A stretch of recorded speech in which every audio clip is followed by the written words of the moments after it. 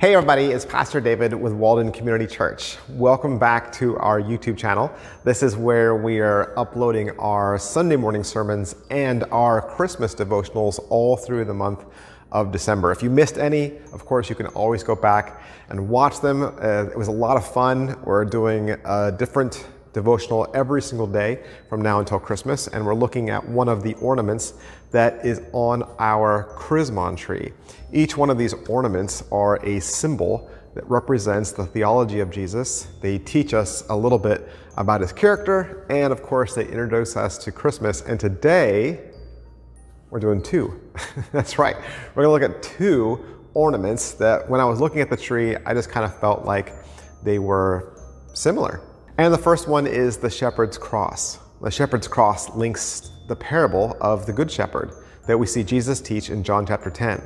The story starts off by telling us of a farmer who hires day laborers to look after his flock. And when a wolf comes, the hired hand flees to save himself because he feels that his life is worth more than some sheep. The wolf, of course, is attracted to the sheep, and the parable goes on to portray Jesus, who is a good shepherd who doesn't flee when the wolf comes. Instead, Jesus lays down his life for the sheep to protect them from darkness. And then we also have the famous Psalm chapter 23. The shepherd's cross here is a useful reminder for us when we walk through dark times, when we feel lost, when we feel empty and we don't know what to do.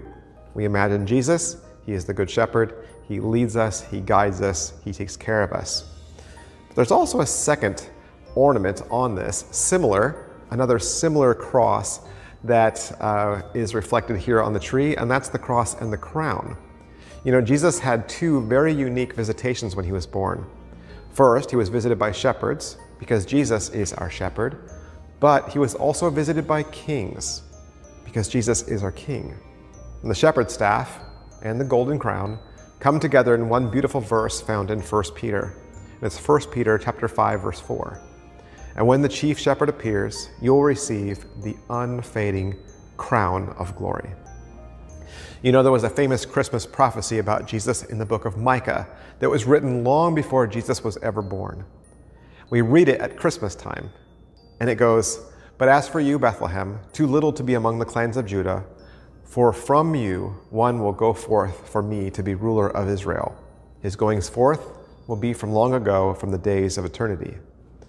But there's a second passage. It's a continuation of the first, and we don't often read it at Christmas, but I would like to read it for you now.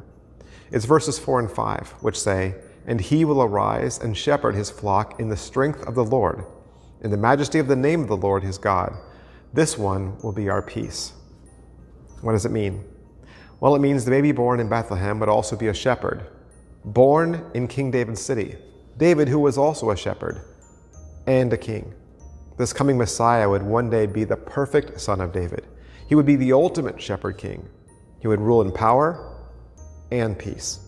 And unlike any other king the world has ever known, during his life, Jesus would say, I am the good shepherd.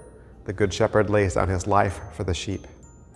Jesus would later give his life to save his sheep from sin and death by giving his life on the cross. Kings rarely give their lives for their subjects, Good shepherds, however, are always ready to give their lives for their sheep. Why is Jesus both shepherd and king? He needs to be for us. Jesus is both perfect and loving, and he's coming back one day to rule and to love for you, his people, forever. I hope you know Jesus this Christmas because only he promises life, peace, and salvation for every single lamb in his care.